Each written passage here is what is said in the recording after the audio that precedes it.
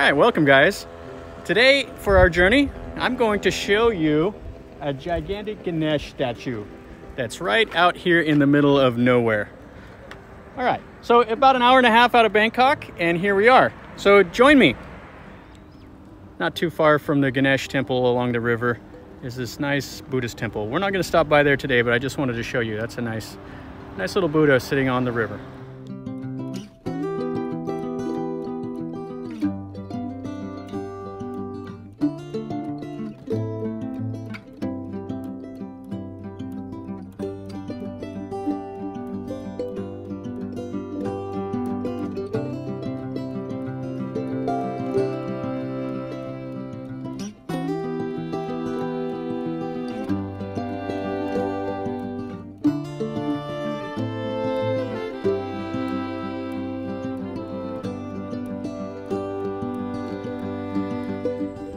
Wow, what a find. This temple complex, just right out here in the middle of a bunch of rice paddies and uh, next to the Bang, uh, Bang Patong, Bang Patong, however you say it, river, right outside of Bangkok.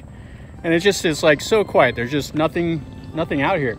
There's a few fish farms and stuff like that, but other than that, it's just a big old Ganesh statue sitting out here in the middle of all of this countryside.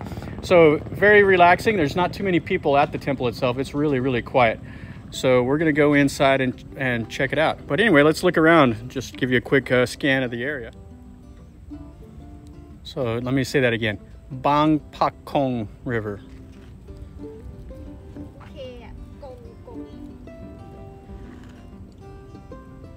You can see the water hyacinths floating by. There's the river, or the bridge you have to come over to get here. There's another temple over there. But there's just not a lot here. Really, really quiet. So this Ganesh statue is just massive. I mean, you can see it from miles and miles around. And it's just standing here. So it looks like the Ganesh has a knife in one hand and a rat in the other. The Ganesh at the last temple that we looked at, the dragon temple on the river, there was just a, his horn in one hand and a lotus leaf in another hand. But this one here has four things in his hands. I don't know what the significance of the others are.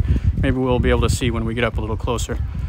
But everything here is really cool. There's just, it's pretty empty. Not many people, maybe because it's midweek, but uh, it's also quite a ways out. So how to get here? The only way I would say to get here is to plug something into the GPS and come out here uh, in a taxi. It's kind of way out of the way. There's not any public transport close by. So a taxi would be your best bet. Probably could hire for 400 baht, have a taxi bring you out here and then pay them a little extra to wait for you and then take you back. So you'd probably be into it for, you know, about a thousand baht, 1,200 baht for a half day trip out here. And it's about an hour, hour and 15 minutes outside of Bangkok. And it's in Chachoengsao, which is a little province right next to Bangkok itself, between Chonburi and Bangkok. So right in front of the big Ganesh statue, they have some of these other poses of some of the other Hindu gods. That one there is Sunday. Here's Monday.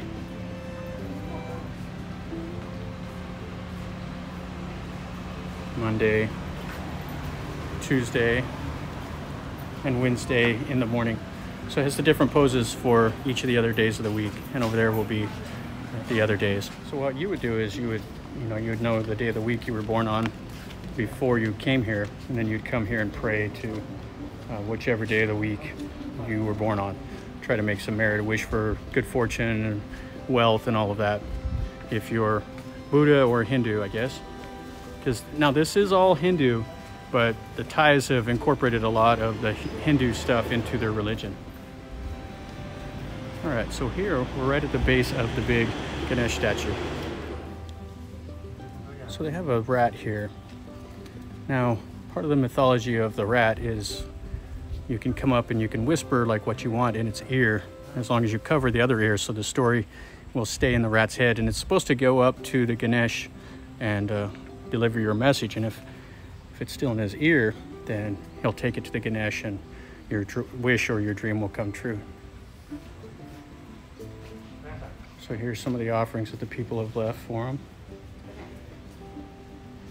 I mean, this is just a spectacular temple right out here in the middle of nowhere. It's just kind of one of those things that I guess you have to be around here to find it.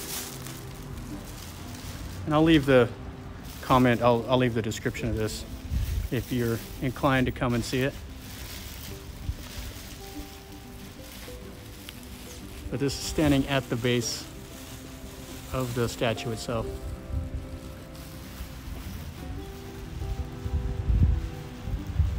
Has a concrete pedestal that it's sitting on. They've laid the stones on and up at the bottom of it they've left the marble and then the inlay. So this actually doesn't look completed. And I did see a sign on one of the buildings that said what year it was, and it was in Thai, and it was 2557, which I believe the Buddhist calendar, that was, it's 2,563 now. So that was six years ago when they started building this complex, I guess. So so maybe as it gets more popular, this will be a lot more crowded. But it really is a quite a nice place. At the base of the statue, they have the little rats here.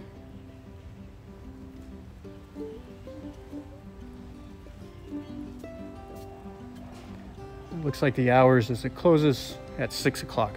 So it's open from nine in the morning until six o'clock at night.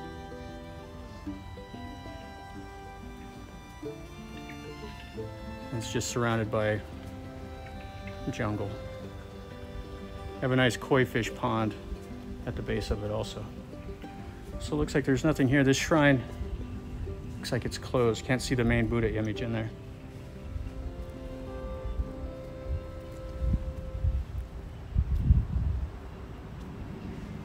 And this looks like maybe some of the main donors.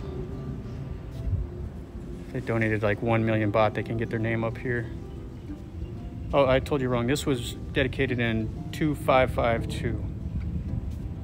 So this is all 11 years old.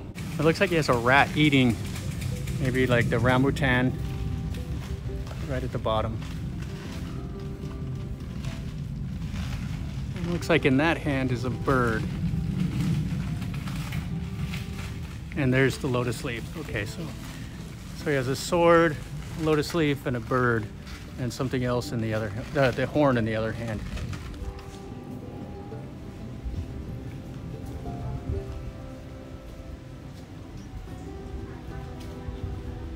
So this is the whole complex here that you see. And it's just spectacular. I mean, this is really, really nice. It's a way out of the way, but definitely worth a trip up here. One of the little side shrines along the walkway here. And I did tell you wrong about those things that are around the base. The sculptures I said was not completed. They are completed, but it's uh, it's just kind of a rough pose of the Ganesh. And it's uh, was dedicated by people that helped contribute to this this temple out here. So it's whatever pose they wanted it to be, and they did it. It's kind of like in a sandstone, so it looks like it's not completed, but it is. All right, guys. So that finishes up our little journey to out here. It was pretty quick, but uh, it's the camera just does not do justice what this place really looks like. Really, really, really cool. So anyway, guys, hopefully you enjoyed the video. If you did, then click like on it, share it with your friends, subscribe to my content.